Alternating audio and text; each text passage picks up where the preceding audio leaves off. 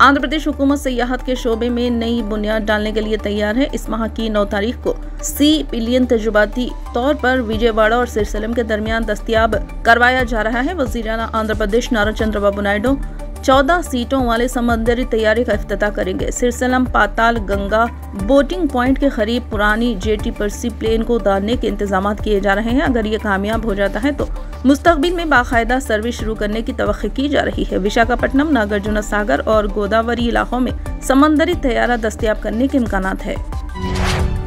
Hyderabad metro ट्रेनों में टेक्निकी खराबी पैदा हो गई है, जिसके नतीजे में शहर में नागुलता राय दुर्गम रोड और एलबी नगर ता मियापुर चलने वाली मेट्रो ट्रेनें रास्ते में ही रुक गई है, जिस पर मुसाफरीन को मुश्किल का सामना करना पड़ा। मेट्रो अथॉरिटी ने इंकशाफ किया कि फनी खराबी की वजह से खिदमात रुकावट पैदा हुई है। तवील वीकेंड के बाद पीर की सुबह मेट्रो ट्रेनों में आवाम का हजूम देखा जा रहा है।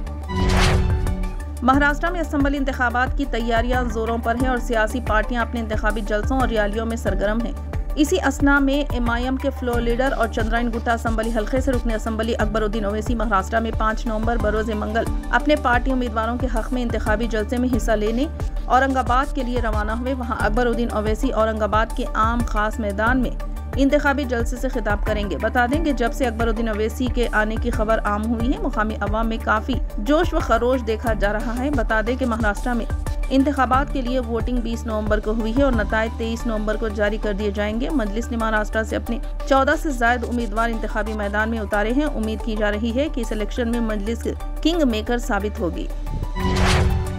इलेक्शन कमीशन ने यूपी जिमनी इंतबात की तारीखों में तब्दीली की है। इलेक्शन कमीशन ऑफ़ इंडिया ने अब 13 नवंबर से 20 नवंबर को होने वाले जिमनी इंतबात के लिए वोटिंग मुलतवी कर दी है। इलेक्शन कमीशन के इस फैसले से समाजवादी पार्टी सबसे ज़्यादा नाराज़ हुए हैं। यहाँ तक के समाजवादी पार्टी के रुकन पार्लियामेंट और अखिलेश यादव की अहलिया।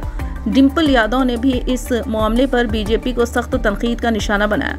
इन्होंने इसे महाराष्ट्र असम्बली इंतबात से भी जोड़ा है।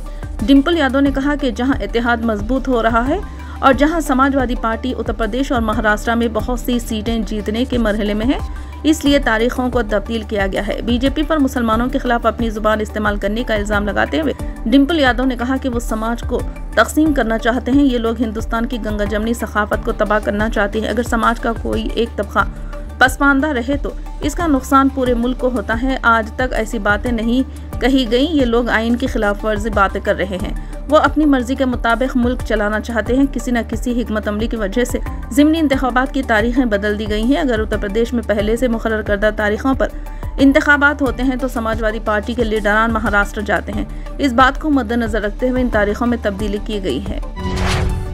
फ़िलहाल के लिए बस इतना ही। देखने के लिए शुक्रिया।